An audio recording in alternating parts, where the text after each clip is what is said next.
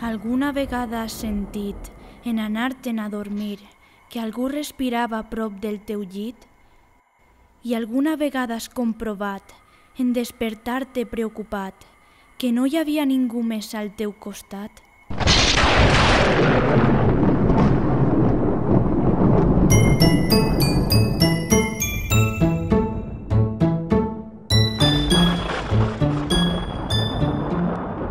Has de preparar-te, fas bé d'alçar-te.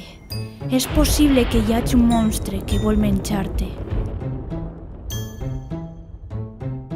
Has d'investigar, aprendre i preparar la teua defensa sense descansar. Però, com saber a quin esperit has pogut encolerir? Buscaràs de la A a la Z, entre els monstres de la terreta, dins d'un llibre llegendari, el terrible i antic monstruari.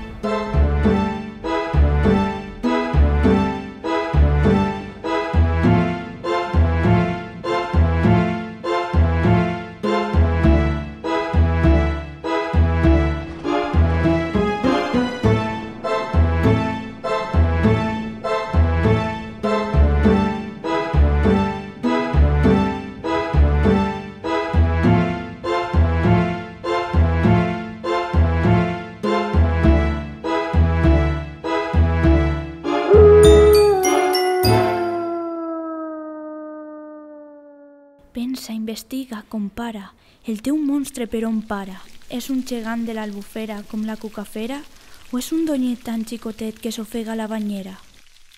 Els dimonis de l'Avern viuen normalment a l'infern, però hi ha més d'un que viu en la nostra terra tot l'estiu.